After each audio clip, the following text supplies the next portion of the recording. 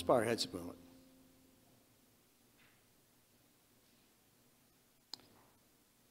Lord, bless as we turn to a lesson from you and your word. May it touch our hearts and mold our lives in Jesus' name. Amen. John 1, beginning in verse 1.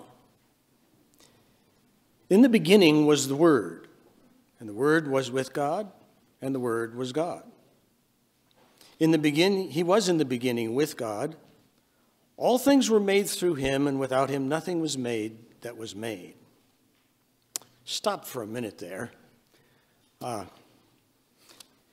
some of you I may have shared with that early in my Christian journey, I, I grew up in a Seventh day Adventist home. But I didn't start out as a theology major. I started out as maths and sciences. It was the obvious thing, that's what I was good at. Uh, and I got to my senior year of college before I went as a student missionary and changed and came back and took theology. It was while I was a student missionary in Korea that I got my theological start with books, some of which were early Adventist books that still had the concept that Jesus had a moment of beginning somewhere in the distant past. That's what I read. Sounded right to me. There was stuff in Scripture sounded that way. It took me a while to sort that one out. John 1, verse 3 is what nailed it down for me. Because it says, All things were made through him. And then it flips it around and says it again, kind of the other way around. Without him, nothing was made that was made. If you draw a line between the things that were not made and the things that were made, which side of the line is Jesus on? All the things that were made are on the other side of the line, and He made them. Nothing that was made was made without Him making it. He is not one of those things. He's on the other side of the line. He's the one that made, not was made. And then, of course, Ellen White makes it very clear. In him was life original, unborrowed, and underived. Now, some of the early Adventists had trouble when they read that. And one of them made a specific appointment to go visit with her because he didn't believe she actually wrote that. He thought the editors put it in. And he asked to see her handwritten manuscript for the book Desire of Ages, and she let him read it, and there it was.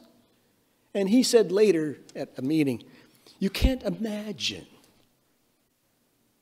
how that struck us. We thought she was teaching heresy at the time because there were so many who thought that there was a point of beginning for Jesus, but he is eternal God always. And he is not one of the things made, he's the maker of all that was made. Verse 14 And the Word became flesh and dwelt among us, and we beheld his glory, the glory as of the only begotten of the Father, full of grace and truth as we remember what Jesus has done for us on an Easter weekend, we owe it all to Him. There's, nothing that happens for our salvation that He didn't do. Hebrews 4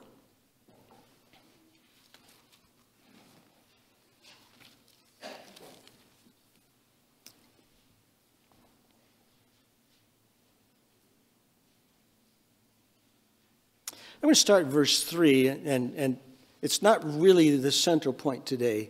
I'm not going to spend a long time on this, but it says, For we who have believed do enter that rest, as he has said. So I swore in my wrath, they shall not enter my rest. He's talking about the rest of Canaan for the nation of Israel, which many of them didn't actually have the rest that God wanted. Although he says the works were finished from the foundation of the world. For he has spoken in a certain place of the seventh day in this way God rested on the seventh day from all his works. And in this place, they shall not enter my rest. Therefore, it remains that some must enter it, and those to whom it was first preached did not enter because of disobedience. And it goes on to say there remains a rest for the people of God, a resting. And he says at, the, at creation, the works were finished. Well, God made the world, and He gave it to us as a gift. Now, Carol and I like to garden and plant trees, and uh, we didn't make those things. We plant seeds, we cut cuttings, we put them in the dirt, we do all kinds of things with them, but we didn't make any of those things. God made all those things, gave it to us as a gift, and we use the gift He has given us, but He did all the work back at creation. It was done in the first six days, right? It was done. Salvation's like that. He did it, and He gives it to us as a gift to use. We don't do it. We can't do it any more than I can create a palm tree or a fig tree or whatever it is. I can't make it. I can work with what he's given. It's his finished work, his gift. Now, right up until the last couple weeks, I used to think that when it said, the works were finished from the foundation of the world, it meant just the works of creation were finished from the foundation of the world. And that in a similar manner, God has finished the work of salvation and given that to us. But I think when he says the works were finished, he means both kinds of works were finished from the foundation of the world because creation and salvation were intertwined in God's mind, and he already knew that the sin problem was coming and he already has the solution prepared. And when he spoke the first word, let there be light, he already is doing salvation too. Salvation was a done deal at that moment. God was irrevocably committed and has already promised it will be so. When he began the creation and finished the work of creating, he also finished the work of salvation because it says, the lamb slain from the foundation of the world. He's already committed to that when they created our world. Romans chapter 3. Romans chapter 3 and verse 24.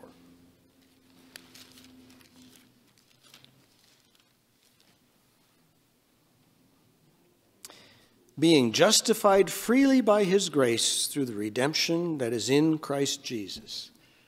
The nutshell summary of the heart of salvation justified freely by his grace through the redemption that's in Christ Jesus. Uh, Wayne Kuzer posts every morning, some of you get that. Uh, and uh, a few days back, April 6th, one of his posts caught my eye and triggered a train of thought I want to share with you guys today.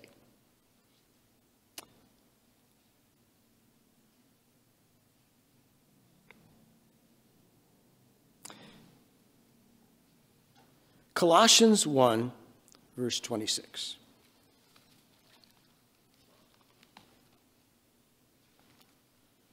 Colossians 1.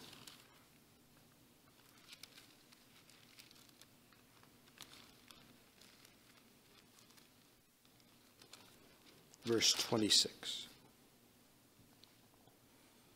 The mystery which has been hidden from ages and from generations, but has now been revealed to his saints. Paul says, I am a minister of this stewardship that God has given me, the mystery hidden from the ages, now revealed.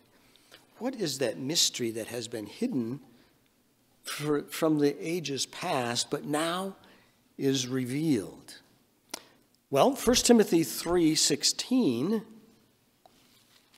lists a number of elements of that mystery. 1 Timothy 3:16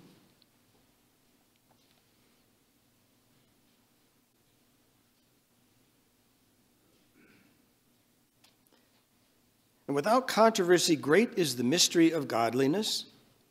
God was manifested in the, in the flesh justified in the Spirit, seen by angels, preached among the Gentiles, believed on in the word, world, received up in glory. Those are some of the elements of that mystery, but I'm pretty sure there's at least one more. I think there's probably more than that. I want to uh, explore one other one with you today. Um, grace. Grace. Is grace important to our salvation? We're saved by grace, not by works. Uh, by grace, you're saved through faith. It is very central to our salvation.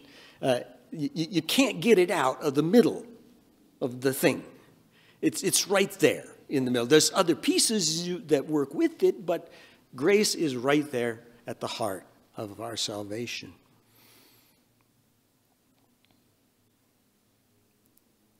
Acts chapter 20.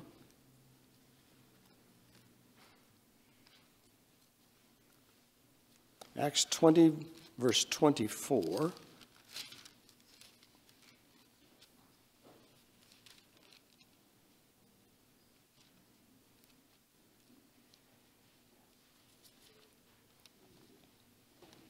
Acts 20, verse 24. But none of these things move me, nor do I count my life dear to myself, so that I may finish my race with joy and the ministry which I received from the Lord Jesus to testify to the gospel of the grace of God. The gospel. Gospel is good news. It's the good news about our salvation, but here he says it's the good news of the grace of God. That's the gospel. You can summarize the gospel as God's grace to us, is what Paul is saying there. And then, verse 32 of the same chapter, just down a few verses. So now, brethren, I commend you to God and to the word of his grace, which is able to build you up and give you an inheritance among all those who are sanctified. I commend you to God and to the word of his grace, the word about his grace, the teaching, preaching, sharing about his grace. Titus chapter 2, verse 11. Titus, Philemon, Hebrews. Titus chapter 2, verse 11.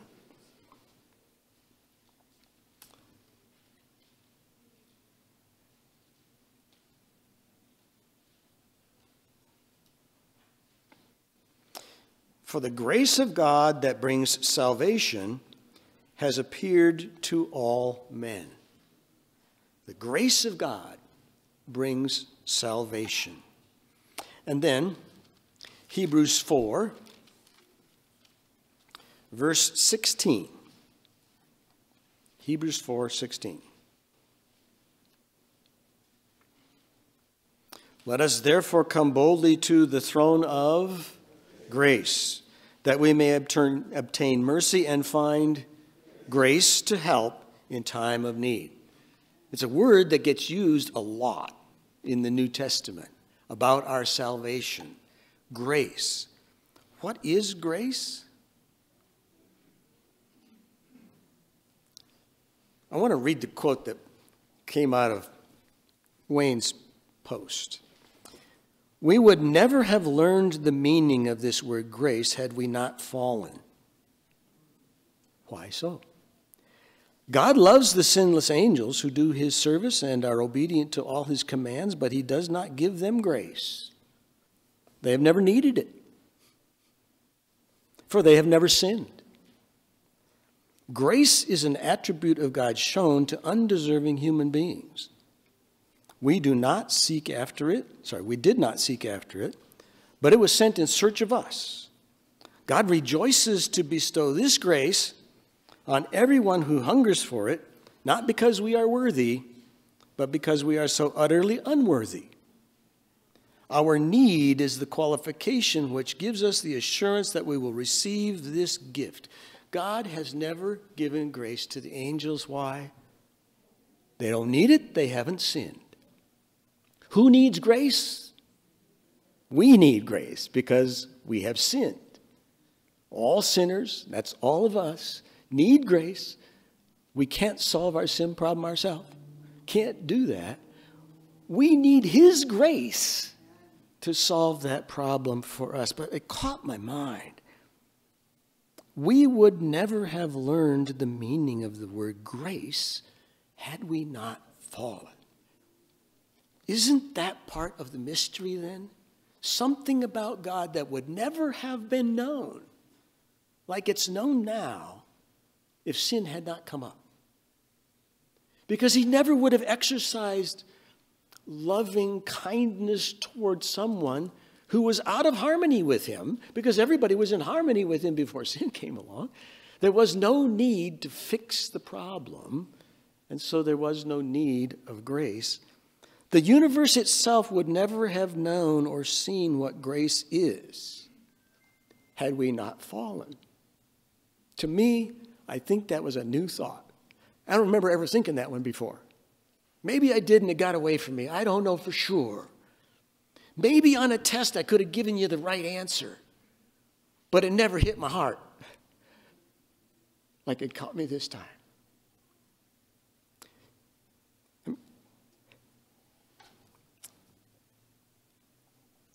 Exodus 34 6. God describes himself to Moses when Moses says, Show me your glory. Exodus 34, verse 6. Watch for the words that run parallel to the word grace in here. Exodus 34, 6. The Lord passed before him and proclaimed, The Lord God, merciful and gracious, long suffering, abounding in goodness and truth, keeping mercy for thousands, forgiving iniquity and transgression and sin. What are some of the words in there that run parallel to the word grace? Merciful, long suffering, goodness, forgiving all of those concepts are relatives of the word grace, expressing the same or a very similar concept. They are related. They are related. Uh, and then Psalm 86, which, by the way, is very close to a quote from the verse we just read. Psalm 86, verse 15 couple of changes. And again, watch the, the parallel wording here. But you, O Lord, are a God full of compassion and gracious, long suffering, abundant in mercy and truth. Compassion, grace, long suffering, mercy, it's all parallel concepts. This is a part of who God is. This is who God is, right? In fact, as sinners, we know God primarily as the God of grace. And it came as a start to me, quite a shock to realize there was a time when the universe didn't know him that way. The, the rest of the universe did not know God as a God of grace. They knew him as a God of love. Now, his grace comes out of his love, and they always knew he was the God of love. And they're not unrelated, and it's not like they didn't know that God's a good God. Oh, absolutely, they knew God was a good God. But the grace thing they'd never seen because it had never been seen. And it was one of those things that was hidden, couldn't be seen because there'd never been a chance for it to show itself. Romans 5.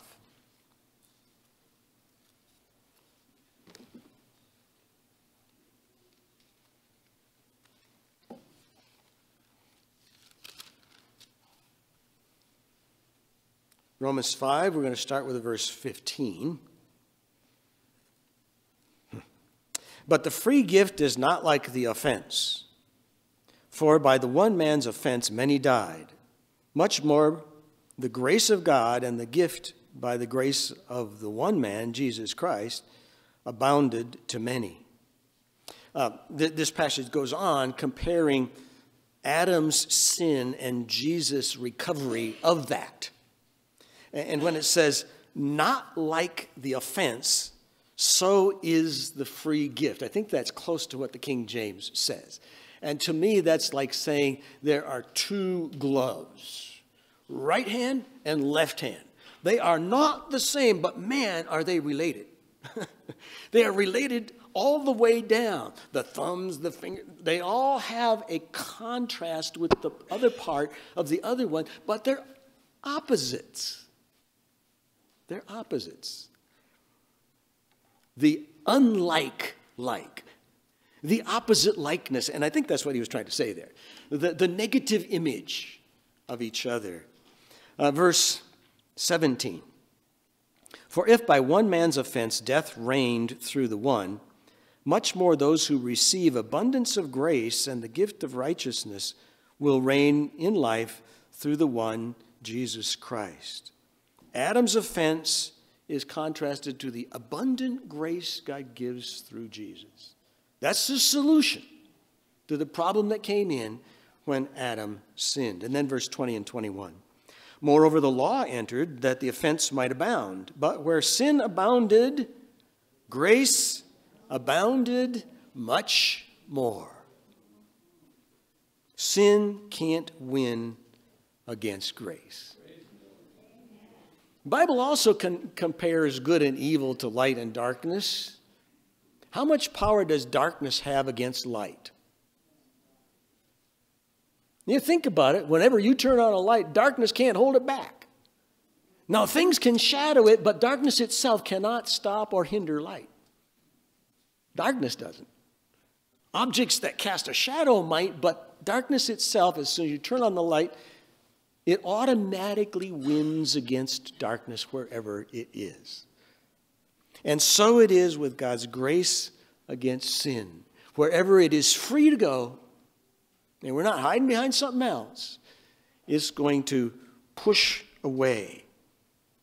Verse 21 So that as sin reigned in death, even so grace might reign through righteousness to eternal life through Jesus Christ our Lord. Sin reigned to death, grace reigns through righteousness to eternal life. You see the parallels that are contrasting opposites.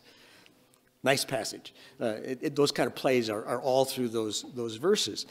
But grace abounded more. Where sin abounded, grace abounded much more. That's who God is. That's who God has always been. But we didn't always know that in that context till sin came along and we got to see God's response to sin, and it's a beautiful thing. Ephesians chapter 3. We're going to read a little bit more around where our scripture reading was this morning. Ephesians chapter 3. I'm going to start in verse 1. For this reason, I, Paul, the prisoner of Christ Jesus for you Gentiles, if indeed you have heard of the dispensation of the grace of God which was given to me for you, how that by revelation he made known to me the mystery as I have briefly written already. So there's the grace of God given to Paul and the mystery that has been revealed in our times. Verse 4 By which, when you read, you may understand my knowledge in the mystery of Christ, which in other ages was not made known to the sons of men, as it has now been revealed by the Spirit to his holy apostles and prophets. So, even in the history of this world, a knowledge of God and His grace is a growing thing, which was not always as clear in the past as it was in Paul's day, and probably not as clear in Paul's day as it can be in our day, because we got everything he had. And since then, we see God working as well. Verse 6 The Gentiles should be fellow heirs of the same body and partakers of his promise in Christ through the gospel. There may be some here who have Jewish ancestry, but I don't think I do, as far as I know. A lot of us don't. And man, am I glad the gospel went to the Gentiles.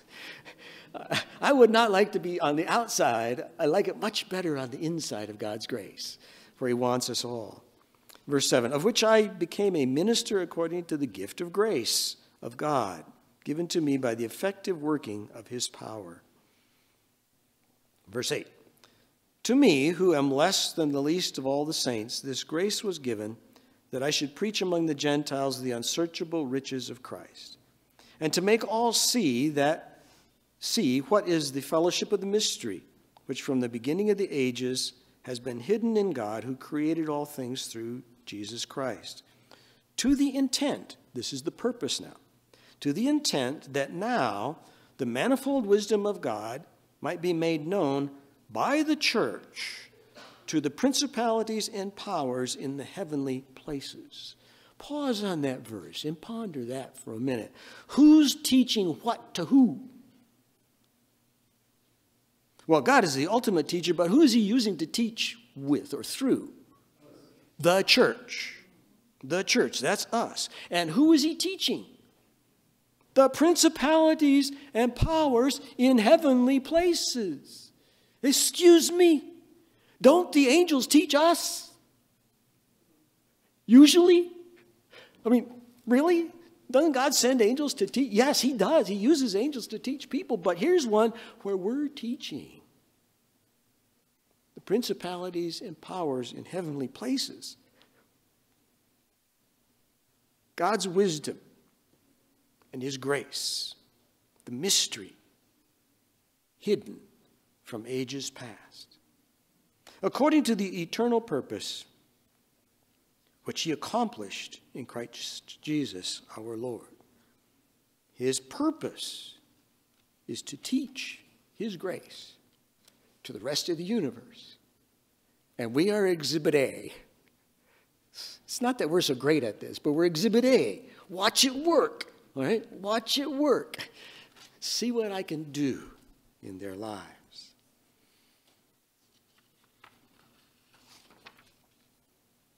Back up one chapter, Ephesians chapter 2, beginning in verse 4.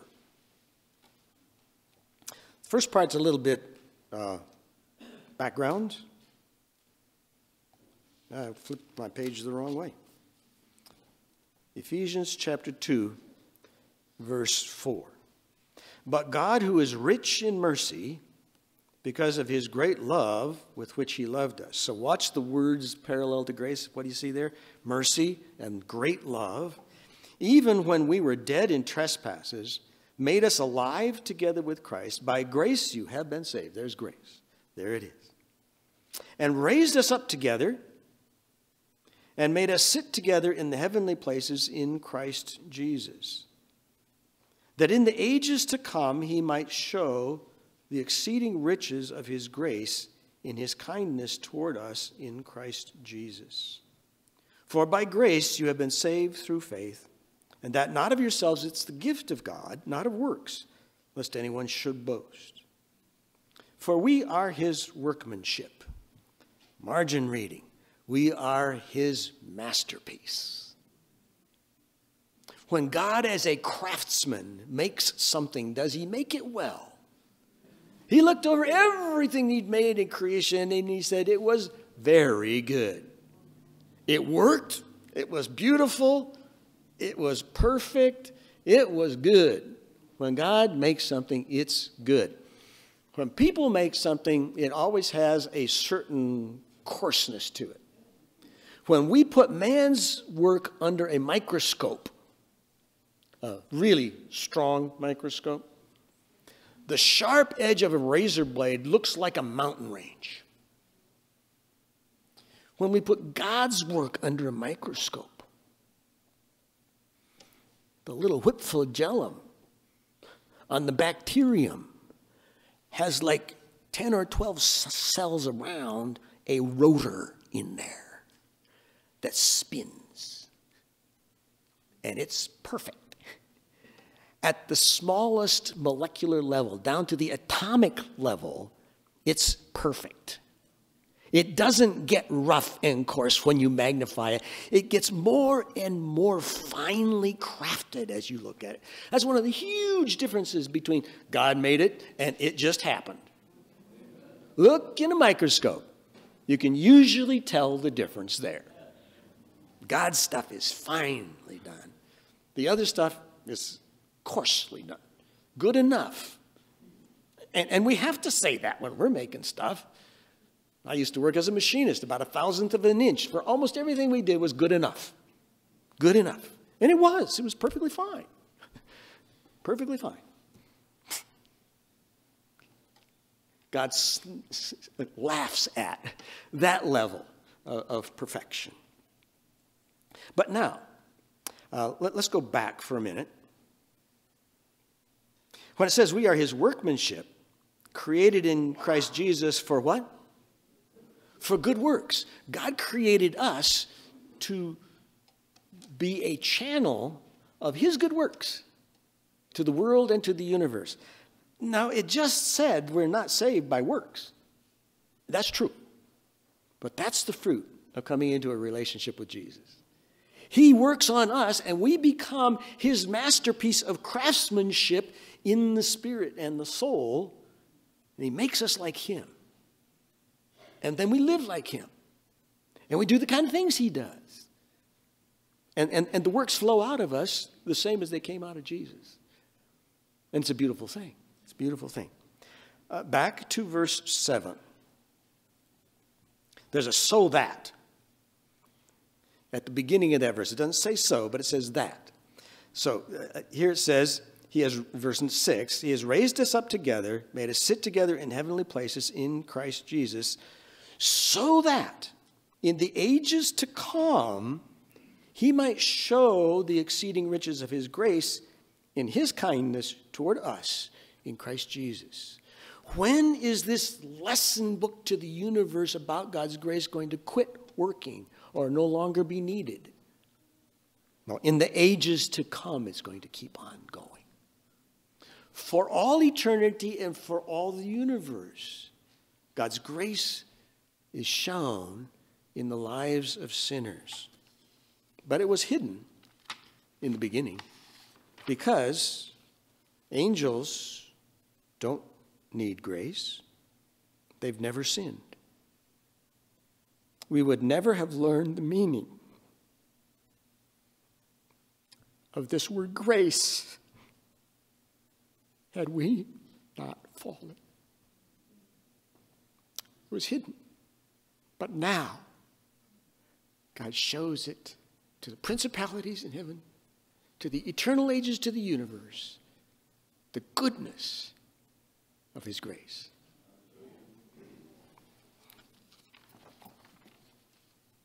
Thank you, Wayne. Got me.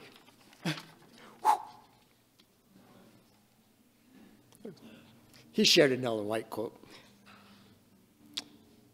God is love, and everything about him is good. Always has been, always will be. And in eternity past, the creatures of heaven knew this. They knew that. We are saved by his grace. One of the main ways his love and goodness are manifested is His grace to us unworthy sinners. In our life, that's really central. really central. His grace was never exercised and remained hidden to the universe before we sinned.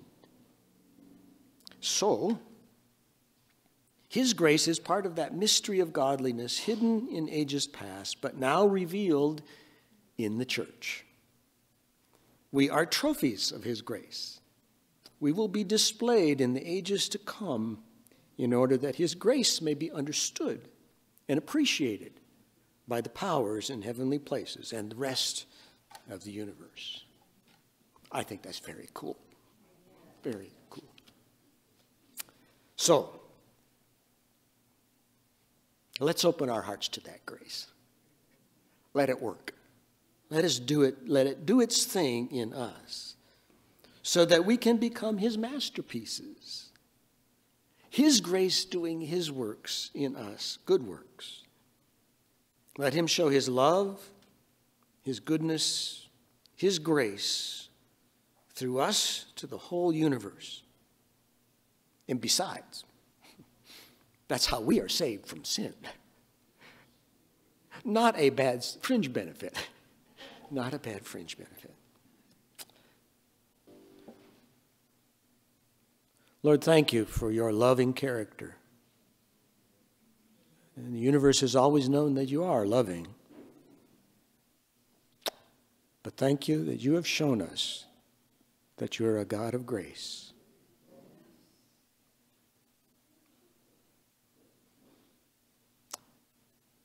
Fill us with that grace, change us by that grace. Use us to display that grace. In Jesus' name.